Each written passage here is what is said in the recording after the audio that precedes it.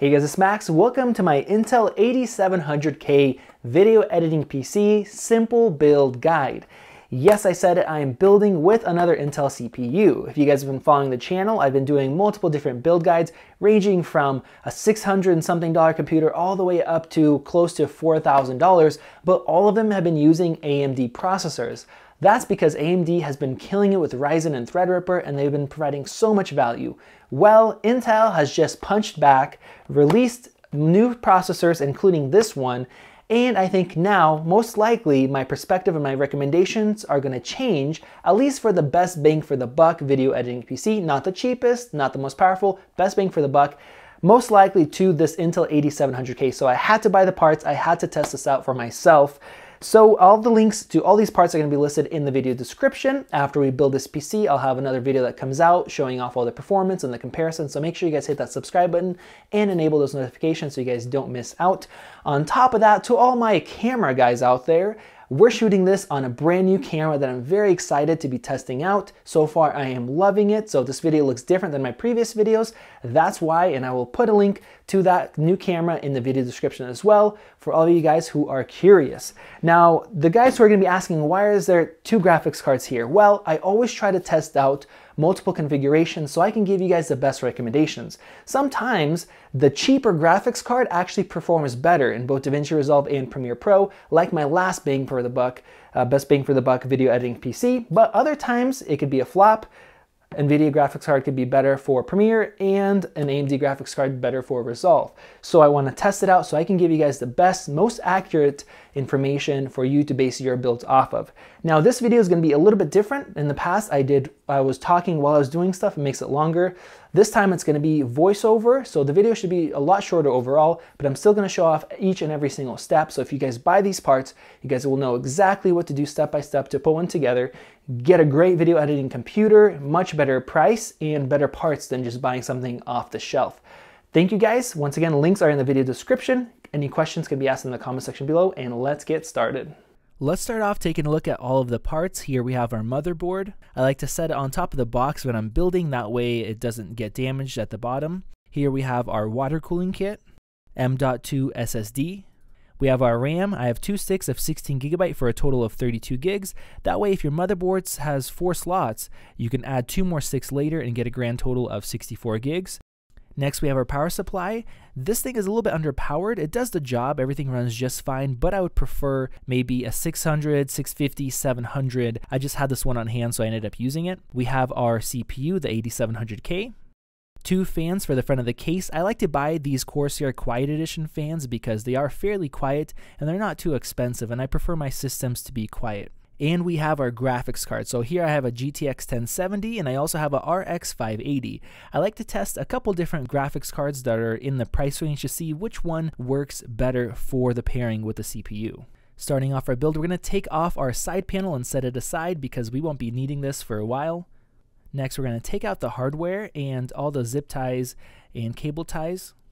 I'm going to start off by installing my CPU. You don't have to do this right away, but I prefer to do so. You just have to be careful not to touch the top of it so you don't get any oils on the CPU itself. So grip it by the sides and there's a little triangle in the corner. and You need to match it up with the CPU socket, drop it in, don't push it in or anything like that.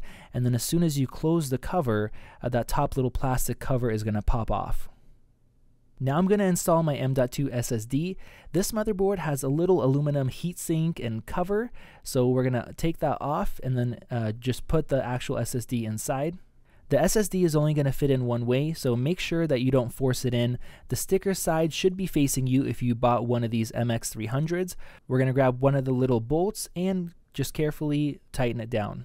You can peel off the backing for the little thermal pad and install the little heatsink cover. Next, we're going to install the I.O. shield. Now, these things can be a pain. Um, they're just using this kind of a compression fitting. So take your time, be careful not to get cut by the edges, and just apply some pressure on each end. Now let's insert the CPU water cooling back plate. You can just follow the directions to see where you need to insert these little metal pins. Don't force it in, it should go in only one way. If your water cooling kit is brand new, it's going to have a thermal pad already applied to the water block, but since I've used this one already, I'm going to apply a little bit of thermal paste. You want to place the water block right at the center of the CPU. Don't apply any pressure and try not to have it move too much side to side so it doesn't unevenly uh, spread the paste. You want to align it and then you want to carefully and slowly tighten all the screws on each end of the water block. Don't just tighten one down all the way, get it about a third and then move on, rotate around. That way you're putting pressure evenly onto the CPU. Now let's attach the 3-pin cable to the motherboard. This is what's going to power the pump that's built into the all-in-one water cooling kit.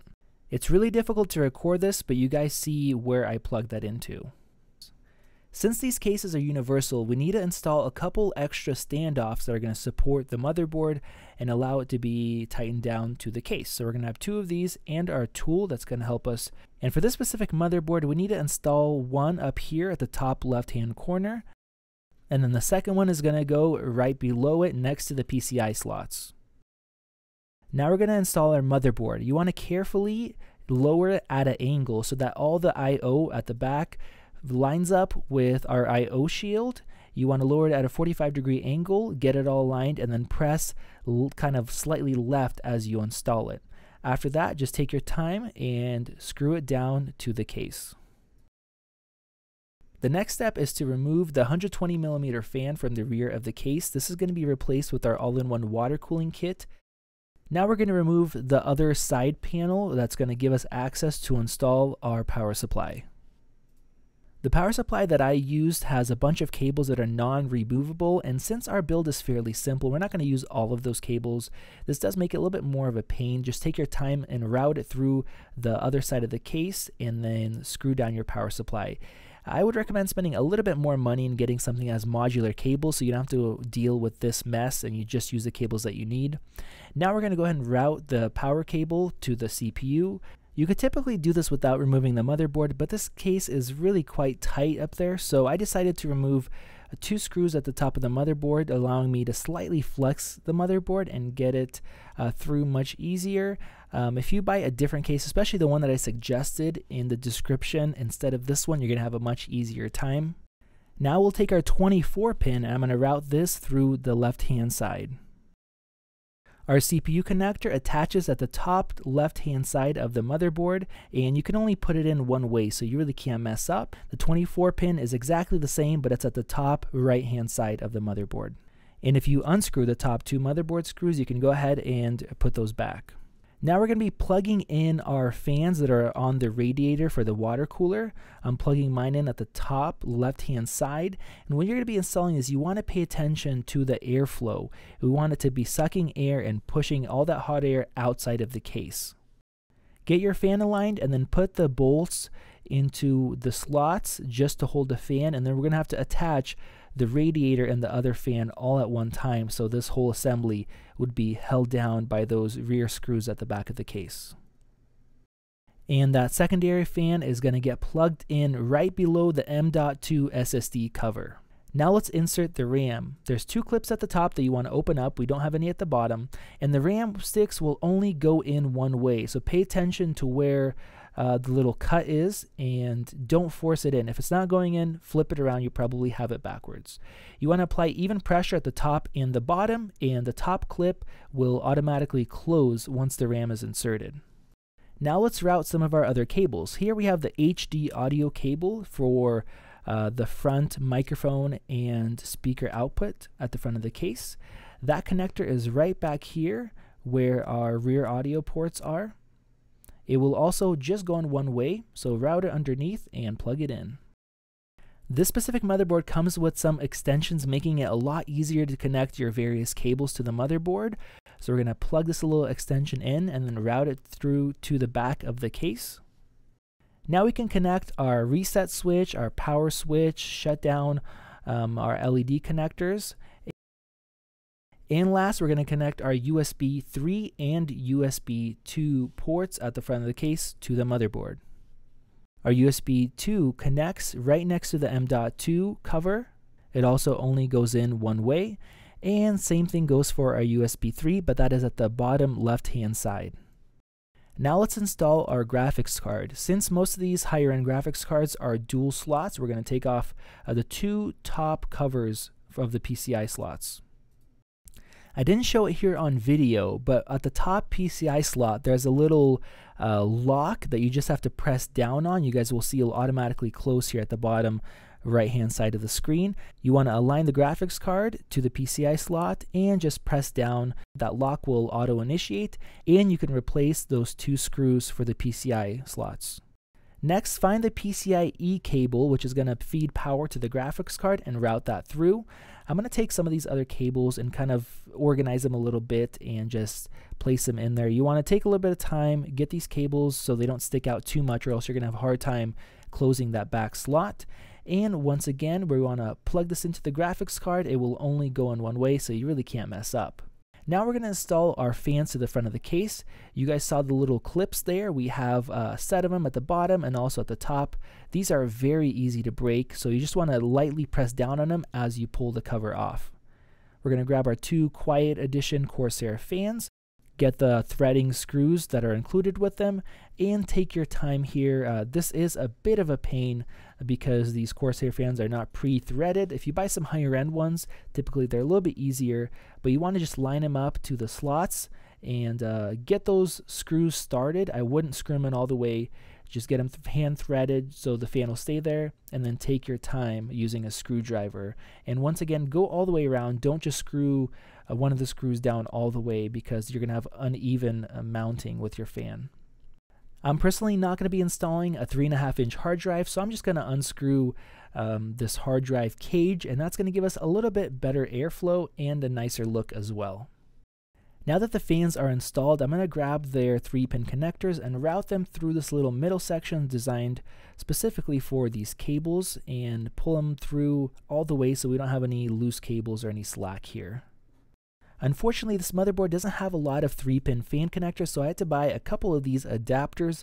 I will have links to these in the video description, just in case you're using this motherboard. And they're very simple. Plug the fans in one end, and then the Molex 4-pin connectors get plugged into um, the Molex power that comes out of your power supply. Now I'm going to do a little bit of cable management to get it looking a little bit neater, install the front cover on our case, and install our wireless antenna for uh, the motherboard's wireless card that's built in. And this is going to be for Wi-Fi and for Bluetooth. Now is the moment of truth. Will the PC boot up? If you did everything correctly and hopefully you didn't have any parts that were uh, sent that weren't properly working, everything should boot up just fine. So as soon as you press this power button, you'll get some fan noise and the motherboard and case fans should light up. Now let's connect a monitor, a wired keyboard, and a mouse. And even if you don't have Windows installed, you should get the motherboard's BIOS that's going to pop up. And here we want to take a look at a few things to make sure everything is good. One, the CPU temperature. We don't want it to be anywhere kind of above, you know, the low 40s. You're seeing we're at 29. Our RAM is showing up, so we have both RAM sticks. And here we're seeing our all-in-one water cooling pump and the two fans that we have plugged into the motherboard, so those are showing up as well. And here in the SATA information, we're seeing that Crucial MX300 SSD. To finish off, let's install Windows 10. If you bought one that's already on a USB drive, you'll have that, or you can download Windows 10 from Microsoft's website and create your own USB like I did. You should plug it in and automatically you'll get a Windows installation pop-up. This process is very, very simple. Microsoft has been making it easier and easier over the years, so you literally follow this guide. Now, if you don't have a product key yet, uh, all you have to do is hit that button and they'll still let you install the full version of Windows and then you can um, enter enter in your serial code at a later time. I'm using Windows 10 Pro here. Here I'm going to hit custom to install a brand new Windows operating system. Select the drive that you have and click new, which is going to format your M.2 SSD or whatever hard drive that you're using and allow you to install Windows. After that, you can click next, and then the Windows installation is going to guide you through all the other steps. Most of it's automated, then you select a PC name. Once you hit your desktop, pretty much everything should be auto installed, but I would suggest going and downloading the latest drivers from either NVIDIA's or AMD's website. Alright guys, thank you for watching my 8700K build guide. If you did decide to go with a different motherboard or a different graphics card or some other part, it should be pretty self-explanatory. Um, you guys have all the steps listed in this video. You just replace that with your motherboard. You might have to look up a few things in the motherboard manual if the ports are in a different spot, but this should get you almost all the way there or completely there if you're using the same parts. So if you guys have any questions, you guys can ask in the comment section below. I will do my best to answer those questions. I appreciate you guys watching. Make sure you guys hit those uh, notifications so you guys don't miss out on future videos. This has been Max, and I'll see you in the next one.